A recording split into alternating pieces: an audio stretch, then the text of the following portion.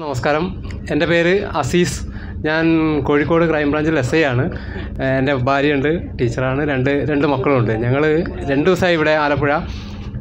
ഈ ഒരു സംവിധാനം സർക്കാരിന്റെ ഒരു സംവിധാനം എന്ന നിലയ്ക്ക് നമ്മൾ അത് തന്നെ തിരഞ്ഞെടുത്തത്. ഒരുപാട് പ്രൈവറ്റ് സ്ഥാപനങ്ങളും ഹൗസ് ബോട്ടുകളൊക്കെ ഉണ്ടായിരുന്നു. നമ്മളെ വിളിച്ചിട്ടുണ്ടായിരുന്നു. പക്ഷേ സർക്കാരിന്റെ ഒരു സംവിധാനം നല്ല രീതിയിൽ നടക്കും എന്നുള്ള ഒരു വിശ്വാസത്തിൽ തന്നെയാണ് നമ്മളിത് വന്നത്. എനിക്ക് ഏറെ സന്തോഷവും അതിലേറെ അഭിമാനവും തോന്നുന്നത് നമ്മുടെ ഈ ഈ ഈ ഹൗസ് ബോട്ടിന്റെ സർക്കാർ ജീവനക്കാരായ ആളുകൾ ജീവനക്കാർ അവരുടെ ആത്മാർത്ഥത കണ്ടിട്ട് സത്യം പറഞ്ഞാൽ ഞാൻ കണ്ണു നമിച്ച് പോയിട്ടുണ്ട്.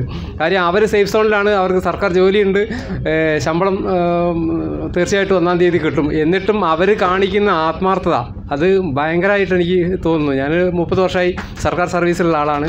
അപ്പോൾ സാധാരണഗതിയിൽ ജോലി കിട്ടാൻ എന്ത് എന്ത് പ്രയത്നവും ചെയ്യും. പക്ഷേ അത് കിട്ടിക്കഴിഞ്ഞാൽ സർക്കാർ ജോലി കിട്ടിക്കഴിഞ്ഞാൽ സാധാരണഗതിയിൽ എല്ലാവരും അല്ല കേട്ടോ കുറഞ്ഞ ആളുകളൊക്കെ ആ ഒരു ഇതിലങ്ങ് പോകും. അവർ ഒരു സോണാ എന്നുള്ള ഒരു ധാരണയില്ല പക്ഷേ ഇവരുടെ ആത്മാർത്ഥത പറയാതിരിക്കാൻ പറ്റില്ല. അവർ ഞാൻ എത്രയും അഭിനന്ദിക്കുകയാണ്.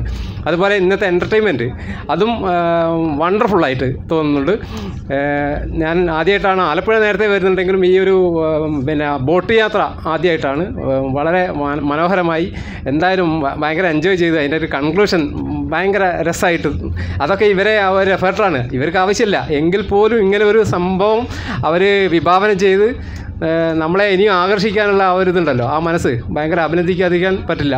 Okay thank you thank you sir